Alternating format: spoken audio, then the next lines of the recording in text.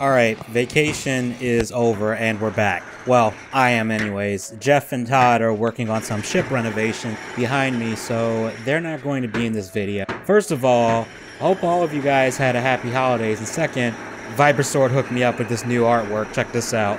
So if you like the new design, let her know. I'll link her Twitter in the description. Now, let's get to the video at hand. Spoiler alert, it's Queer Kid stuff again. Well, sort of. You see, Lindsay, the person running that channel, has another channel called Lindsay Amer. It's an older channel that is now five years old. This is going to be the last vid I do on this channel for the foreseeable future, as Lindsay is apparently stopping on YouTube, and honestly, I don't want to keep making videos of the exact same person anymore. But this video that I found shortly after I made my last video on her channel, I think it's disturbing, and you will see why in a sec. The title of the video is Are All Kids Queer? No. Alright, alright, alright, alright, joking aside, let's get into this shit. This is absolutely disturbing. Hey, Lindsay here. Today I want to talk about if all kids are queer. So we know that kids are strange and kind of weird, but I think that all kids are actually just real queer. So you think every kid on the planet has the big gay? So what, do kids just magically become straight over time? Like, how does that work? Because that would suggest that it's a conscious decision, which it isn't. You don't choose to be straight or gay, just like you don't choose to be short or tall or whatever. And another thing, which keep in mind, is going to be a reoccurring thing in this video and in Lindsay's body of work as a whole. Why are you looking at kids this way? Like, even on her main channel, it's like, why do you feel think the kids need to know this shit? Like, shouldn't this be something kids figure out on their own? Like, you know, like I'm pretty sure 99.9% of everyone else did as they got older. Why are you concerned about the sexuality of children? I feel sick by even saying that, by the way. When children don't have a full concept of what sex, sex is, and they're not sexually active, at least not by choice anyway. Like, I feel like I need to get Chris Hansen on standby right now. But Okay, so basically I've been reading about this theory in queer theory and queer studies called the theory of the queer child, which um, was basically coined by this lady, Kathryn Bond Stockton, in this book, The Queer Child or Growing Sideways in the 20th Century. I know it's a really weird book cover, but whatever. And she talks about this theory in terms of metaphors in movies and books and all that cool stuff. Um, so that's this, and then Alright, this sounds like some gender studies Bechdel test level bullshit right here. I'm gonna fast forward a bit because she's talking about where she's getting this stuff. All I'm gonna say about this is, so this is what passes for modern academia, huh? We're going to argue that all children are gay by default, and then, and then what? Like, do most of them just somehow choose not to be gay or, or something? I don't get how this works. Oh, and the people she is supposedly learning this from, or who created this quack theory, is what I'm gonna call it, is a person named Kathryn Stockton, at least they're one of the person people behind this, and they're an academic in queer, feminist, and African American studies and serves as the director of gender studies at the University of Utah. So you know this is going to be some absolute horse shit. So basically what this is talking about is the queerness of children and how queer kids are and basically saying that all children are queer. So Kathryn Bond Stockton has these four ways that children can be queer. The first is the ghostly gay child, the second is the grown homosexual, then there's the Freudian queer child or the not yet straight child, and there's also the child queered by innocence or money. So let's just go through those real quick. Did you say Freud? As in Sigmund Freud?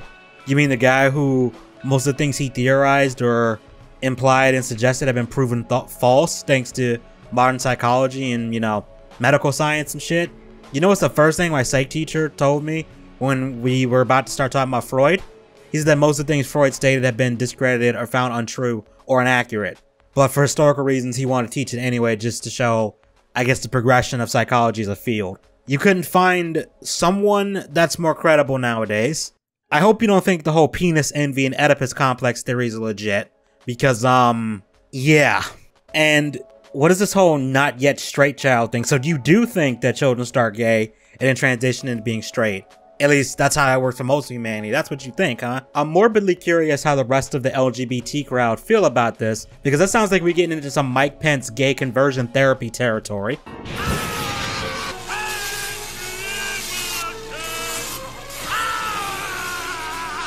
I'm going to hell for that, aren't I? Um, the first, the ghostly gay child, is basically what she talks about when people, when like gay people talk about how they always knew that they were gay. I, I totally knew that I was gay from like a, when I was like a real little kid, but I just kind of didn't have the vocabulary for it for it yet, and also just didn't understand it at all. So you knew you were gay, but you just didn't understand what it meant. Okay, that might be true that I don't know. I can't look, you know, obviously I can't, you know, mind read or travel back in time to then. But let's just say the benefit of the doubt and say she's telling the truth and that that's true for for the vast majority of people. I don't know. But how do we get from that to all kids are inherently gay? Like, or started out that way. Like, that's a big fucking leap. So that's the ghostly gay child. Then there's the grown homosexual who is the kind of projector of that idea of the ghostly gay child. So like that's kind of just me as present projecting that notion of me as a child knowing that I was gay even though I didn't really have that concept back then. It's funny, in, in response to your last clip, I was actually going to bring that up that memory isn't super reliable because your brain is going to fill in gaps and reorganize and recontextualize things when you recall it, and sometimes insert things that didn't even happen. But to you, the memory will feel legit. It's the reason why eyewitness testimony by itself in like a court of law is usually not enough evidence. It needs to be backed up with something else, or you know, or someone else needs to have a very similar account or something that doesn't contradict it. So it's nice that you acknowledge some actual science here. Um, she goes into it further, obviously, in the book. And then there's the third one, the child queered by Freud or the not yet straight child. She uses Freud to talk about how children are all sexual. Hello, is this Chris Hansen? Yeah. Yeah, I, I think you might want to look into this one.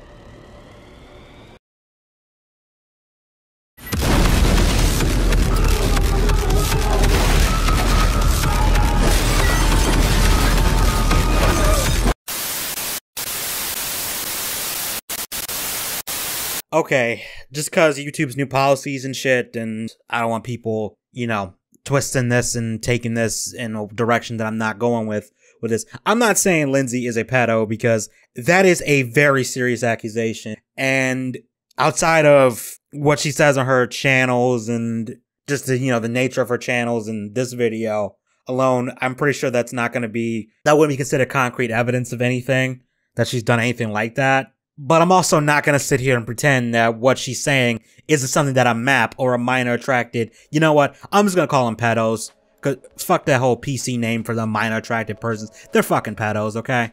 That, that sounds like something they would say. Hell, it reminds me of some of the statements Amos Yee said in his debate with Combat Wombat. If that's still on Wombat's channel, I'll link in the description. You should watch that. If you have a very high tolerance to just stupid and fucked up arguments and points. But that's the kind of that's the same shit that he says, or very similar at least. I haven't watched this debate in a long time, so yeah. And again, I want to make this clear because I know YouTube's new policy or someone in general is gonna get pissed off about this. Again, I'm not calling Lindsay a pedophile. I'm just highlighting that the statement that children are inherently sexual is disturbingly similar to what pedo advocates say on Twitter and in some cases YouTube. And Lindsay, if you end up watching this video, which I don't think you are, this is why people don't like you and your channels. Because you are blatantly sexualizing children by your own admission, because you say in both the beginning of this video and at the end of this video that you agree with this theory. By you saying that children are inherently sexual, that sets off red flags with people, including me, and I'm trying to be level-headed eh, about this, but that is a red flag for me. The internet is full of degenerates. And I don't mean the kind, you know, post like really fucked up memes and shit. I'm talking about the kind that need to go to jail. The kind of degenerates who say things like this. Like this goes beyond just teaching them about what it means to be gay or trans, which personally on younger kids I don't think is appropriate for them. But this goes beyond that into a territory that's far more insidious and sinister. And once again, I just have to ask the question I asked earlier. Why are we talking about the sexualization of children or about children's sexuality? They are children. Jeff, where's the fucking soundboard? I need it. Here you go, bro. Thank you. Oh my god! What the fuck is wrong with you? Seriously! and how there's basically like the ghostly straight child because um, people kind of assume that children are asexual and they're not really allowed to be sexual, but Freud kind of turns that on its head and basically says, no, all children are sexual and yeah, even if they're straight.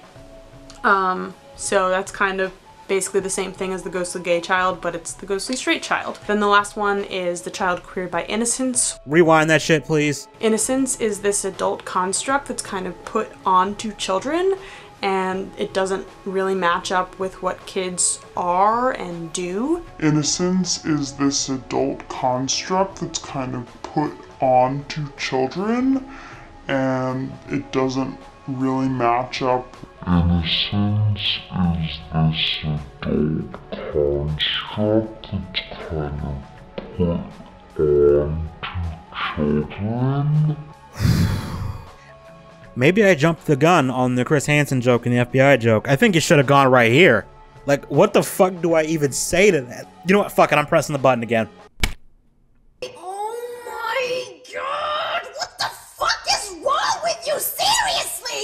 So when people refer to the innocence of a child, that can have multiple meanings. In this context, we mean that children do not understand or comprehend sexuality or sex yet. Or if they do, they have a very juvenile and basic understanding.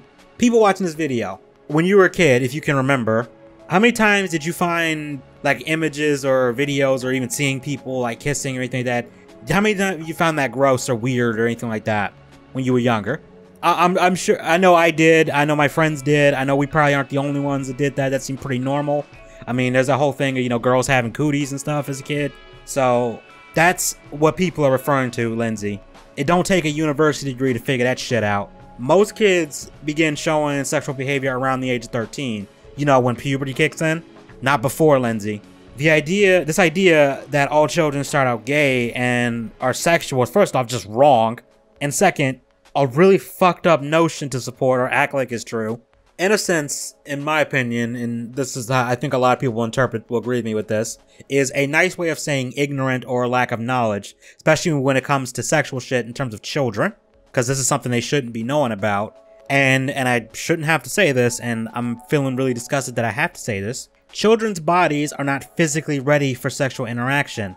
Like, you do realize it can cause all sorts of physical and psychological problems. Children are taken advantage of because of their naivety, because, let's face it, their brains haven't fully developed yet, they're still developing. And even if we concede it, like you say, that innocence is an adult construct, I would argue this is a good construct. Because any fucking doctor will tell you that sexual acts from a child will lead to numerous unintended consequences that can have lasting effects, both physically and psychologically, which I don't think any sane individual would want. Like, how fucked in the head are you and the people who came up with this theory? Like, how fucked in the head are you? Like, seriously, do you understand the implications of what you are saying? I'm glad we're close to the end because I'm actually getting really pissed off now. money or color. Basically talks about kids who are already kind of under umbrellas of adult queerness and how those kids don't really get that projection of innocence upon them because they are kind of the younger versions of queer adults and so they're kind of queered by their race status or their um, economic status. Okay, then there's the last one of children being queered by the economy. Kids are totally cut off from adult normative economies because they just don't contribute to it. Like a kid's, most kids' relationship with money is the weekly allowance. And I think that that makes kids really queer. And the only real way for kids to be involved in the economy is if you're an emancipated minor, which interestingly enough is not a possibility in the UK. Things I didn't know before. And yeah, I think kids not really being able to be involved in kind of capitalist normative society is just contributes to their queerness. I let that clip play because I don't know what the fuck she's talking about. Are you saying that because kids aren't exposed to the same reality as adults, it makes them gay or reinforces them being inherently gay by default? What what what the fuck is this video? I need a bullshit translator. How does children not having to worry about managing money and finances and bills equal they are gay. What the actual fuck? And yeah, so that's kind of the theory, the overall theory. I think it's really interesting and I kind of agree. I mean, I think if you've ever just kind of seen a kid do a weird thing, kids are totally weird. I mean, they eat their own boogers. So you agree with something that makes no fucking sense. You know what? I'm not even surprised. I'm not. This is the person who was running Queer Kid stuff, by the way, and quote unquote educating your kids. If this is the kind of quality education that universities are spewing, then we in trouble. Holy fucking shit. I see why the Doomer meme is a thing, cause fuck. Her logic is kids do weird things, somehow that equals they're gay. I honestly think Lindsay is confusing the different meanings of queer because queer can also mean weird or unusual or just, you know, not normal. But admittedly, people don't use that version of the word too much anymore. I also have to point out that Lindsay didn't bring any studies to the table or any research or data or anything to remotely back this shit up. And of course, this video predates the Queer Kid Stuff channel, but I think you can see where the genesis of this started. anyway, if you look in the comments of this video, assuming it hasn't been taken down yet, I'm actually surprised she didn't. When people found this video, no one is buying this bullshit. I mean, just look at this shit.